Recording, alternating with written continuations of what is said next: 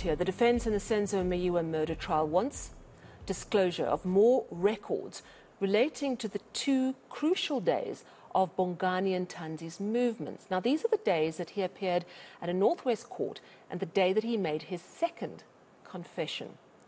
Sergeant Vusumuzi Mogane's movements on the 19th of June 2020 again took center stage in this trial within a trial, trying to determine the admissibility of confessions made by two of the five accused in the football star's murder.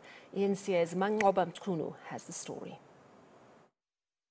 Sergeant Vusimuzi Mogane has told the court he drove accused two Bongani Ntanzi to Phokeng in Rustenburg on the 19th of June, shortly after taking him to court.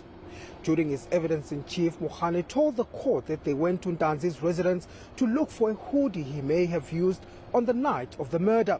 But while Mogane's evidence suggests they left immediately to Phokeng, a vehicle tracking report suggests otherwise. It shows police returned to Moroka police station that afternoon for over two hours. And on the same day at 16, 16 and 53 seconds, that is when I went into the, the yard of Moroka police station in Mkhalima street and I turned off the ignition of the vehicle.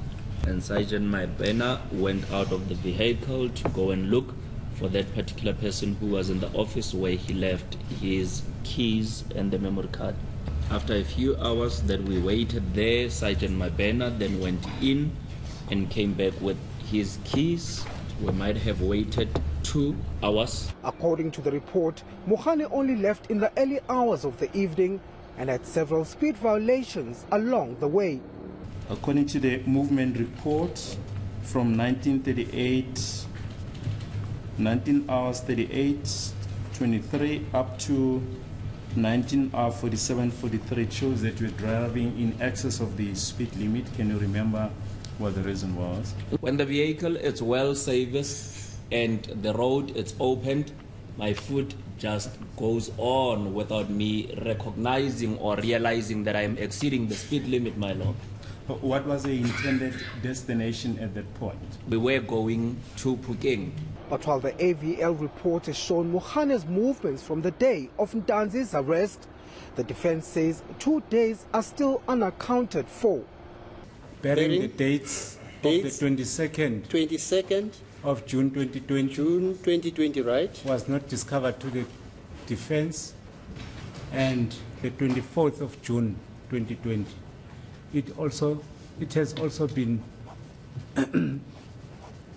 said by the state that the said motor vehicle was not used on the on the particular day as well. Uh, you have to discover all that evidence. We, we will do that. Okay.